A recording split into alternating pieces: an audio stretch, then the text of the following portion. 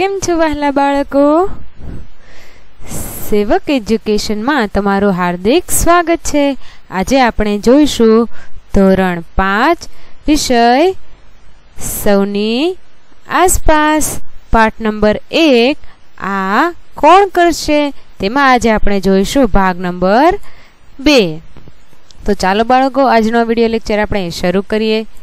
બાળકો, આગળના ભાગમાં આપણે જાહેર મિલકત કોને કહેવાય તેના વિશે આપણે ચર્ચા કરી હતી. પણ ફરીથી આજે થોડી તેના વિશે માહિતી મેળવી લઈએ કે આપણા ગામ કે શેરીમાં ઘણી વસ્તુઓ હોય છે, તે આપણી સુવિધા છે. આ સુવિધાઓ એવી હોય છે કે તેનું કોઈ માલિક નથી. આમ છતાં તે બધાની હોય છે. આવી વસ્તુઓનો બધા જ લોકો સહિયારો ઉપયોગ કરતા હોય છે. આવી વસ્તુને તે આવી વસ્તુ તે આપણી જાહેર મિલકત કહેવાય. જાહેર મિલકત કહેવાય. તે આપણે જોયું. હવે આપણે આગળ વધીએ. અહીં નીચે જાહેર મિલકતના ચિત્રો આપ્યા છે. આવી જાહેર મિલકત તમારા ગામમાં પણ હશે. આપણને અહીં જાહેર મિલકતોનું એક ચિત્ર દર્શાવવામાં આવ્યું છે. તે આપણે જોઈએ.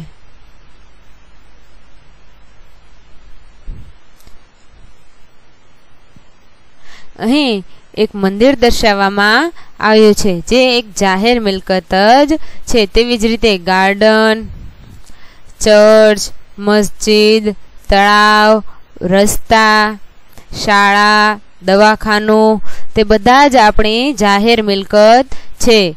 આપણે સૌએ તેનું જતન કરવું જોઈએ. તો ચાલો બાળકો, હવે આગળ વધીએ.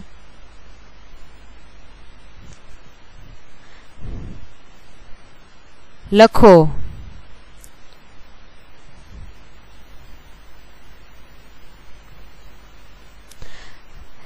જાહેર મિલકતો કઈ કઈ છે તે અહીં લખવાનું છે. આપણી જાહેર મિલકતો કઈ કઈ છે તે આપણે લખવાનું છે.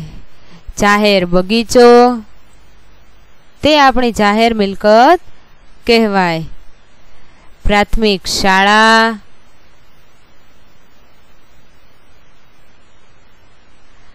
ધાર્મિક સ્થળો એટલે કે મંદિર, મસ્જિદ, ચર્ચ, ગુરુદ્વારા,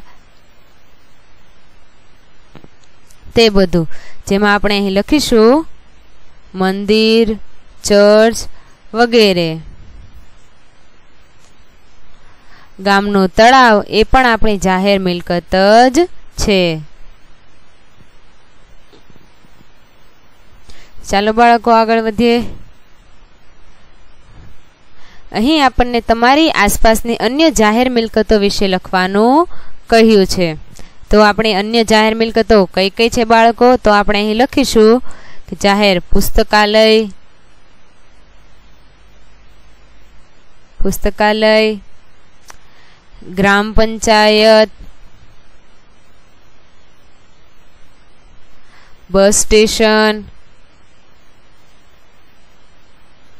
પ્રાથમિક શાળા.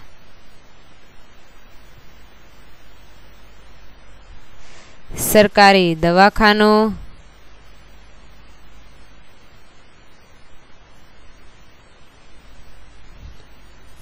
વરીગૃહ. અવેડો.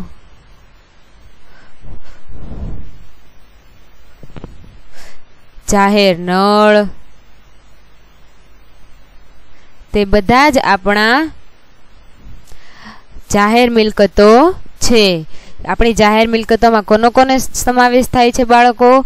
તો કે જાહેર પુસ્તકાલય, સરકારી દવાખાનું, ગ્રામ પંચાયત, વરીગૃહ, બસ સ્ટેશન, ગામનો અવેડો, પ્રાથમિક શાળા અને જાહેર નળ એ આપણી જાહેર મિલકત જ કહેવાય.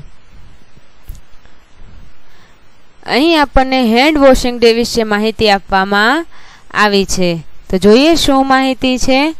Hand washing day hand washing day એટલે કે હાથ ધોવાનો દિવસ. આપણે હંમેશા હાથ ધોવા જોઈએ, પરંતુ પંદરમી ઓક્ટોબરને હેન્ડ વોશિંગ ડે તરીકે ઉજવવામાં આવે છે.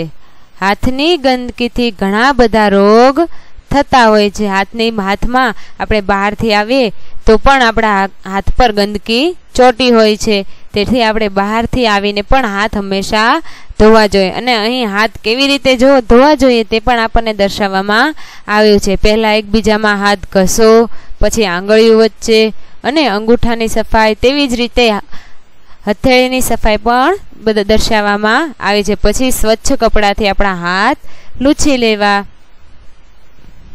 ચાલો બાળકો, હવે આગળ વધીએ. અહીં આપણને ચિત્ર દર્શાવવામાં આવ્યું છે, જેમાં આપણે અવલોકન કરવાનું છે. અહીં આપણને પહેલું ચિત્ર દર્શાવવામાં આવે છે કે એક સ્ત્રી કચરો ભેગો વાળીને કચરો ભેગો કરે છે અને કચરા પેટીમાં નાખે છે.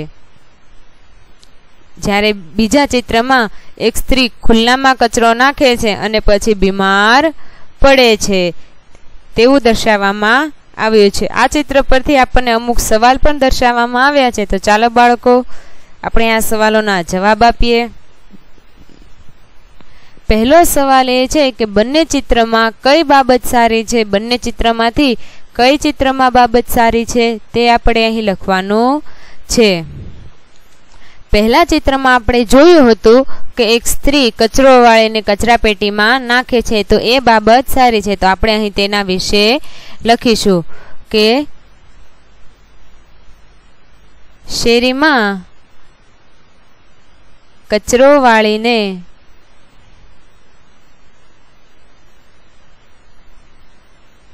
ભેગો કરે છે અને પછી તેને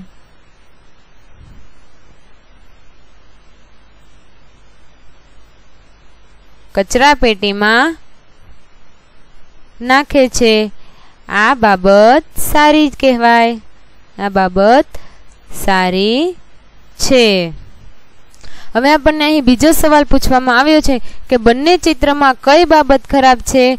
બંને, બીજું જે બંને ચિત્રમાંથી કયા ચિત્રમાં કઈ બાબત ખરાબ હતી? તો બાળકો, આપણે હમણાં બીજા ચિત્રમાં જોયું કે એક સ્ત્રી કચરો ખુલ્લામાં નાખે છે અને પછી બીમાર પડે છે તો આપણે અહીં લખીશું કે કચરો ખુલ્લામાં ફેંકી દે છે અને પરિણામે તે વ્યક્તિ બીમાર પડે છે. તો આપણે અહીં લખીશું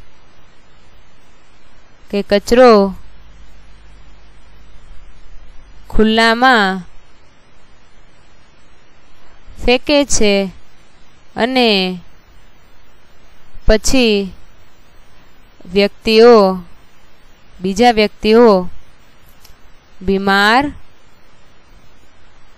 પડે છે. આ બાબત ખરાબ છે. ખરાબ છે ને બાળકો? કચરો હંમેશા કચરા પેટીમાં જ નાખવો જોઈએ. અહીં આપણને ત્રીજો સવાલ પૂછવામાં આવ્યો છે કે તમારા ઘરના કચરાનો નિકાલ તમે ક્યાં કરો છો? તો તમે તમારા ઘરનો કચરાનો નિકાલ જ્યાં કરતા હોય ત્યાં તે અહીં લખવાનું છે. તો આપણે અહીં લખીશું. હું મારા ઘરના કચરાનો નિકાલ હંમેશા કચરા પેટીમાં જ કરું છું. કચરા પેટીમાં કરું છું. અહીં આપણને ચોથો સવાલ પૂછવામાં આવ્યો છે કે શેરીમાં ભેગા થયેલા કચરાના નિકાલ માટે કઈ વ્યવસ્થા છે? આપણા ઘરમાં જે કચરા પેટી હોય, તેના નિકાલ માટે તે કચરા કે આપણે ક્યાં નાખવા જઈએ છીએ પછી?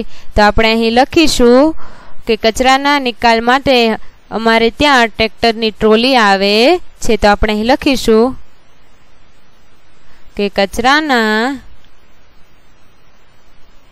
નિકાલ માટે ટ્રેક્ટર, ટ્રોલી આવે છે. અહીં આપણને પાંચમો સવાલ પૂછવામાં આવ્યો છે કે તમારા ઘરના ગંદા પાણીનો નિકાલ ક્યાં કરો છો? તમે તમારા ઘરના જે ગંદુ પાણી હોય તેનો નિકાલ તમે ક્યાં કરો છો તે અહીં લખવાનું છે. તો અહીં આપણે લખીશું કે હું મારા